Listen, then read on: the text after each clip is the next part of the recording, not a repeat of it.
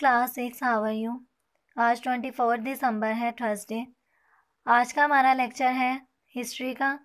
अपने notes open कर लें page number two previous lecture में हमारा लॉन्ग क्वेश्चन ख़त्म हो गया था। आज हम सेकंड लॉन्ग क्वेश्चन करेंगे।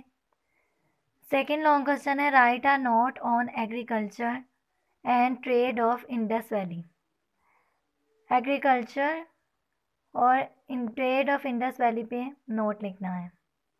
एग्रीकल्चर ज़रात को कहते हैं। The soil of Indus valley was fertile. वादी सिंध की ज़मीन जरखेज़ थी। The dependence of its wealth was upon trade and agriculture.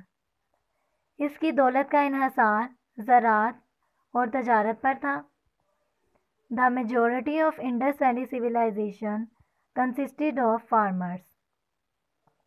वादिय सिंध की की तहज़ीब की अक्सरियत कसानों पर मुश्तमिल है।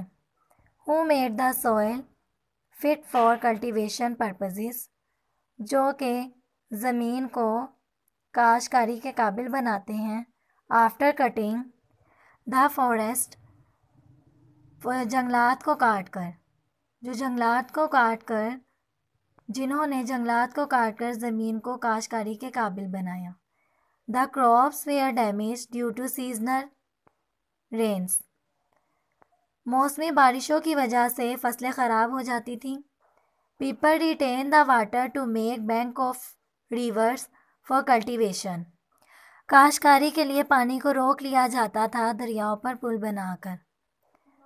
The sign of crops which have been found from the settlement यहाँ की बस्तियों से फ़सलों के जो आसार मिले हैं it is said on this basis इसकी बुनियाद पर कहा जा सकता है कि वादी सिंध की डैड के वादी सिंध में डैड द वीट गंदम मिलेट बाजरा, बारले, जो, वैचिस, फलदार, पौधे, पीस, मटर, इंडियन मिलेट हिंदुस्तानी बाजरा सीसाम तिल सीड, बीज, राइस, चावल लिन सीड आलसी, मस्टर्ड, सरसों, seed and cotton was produce.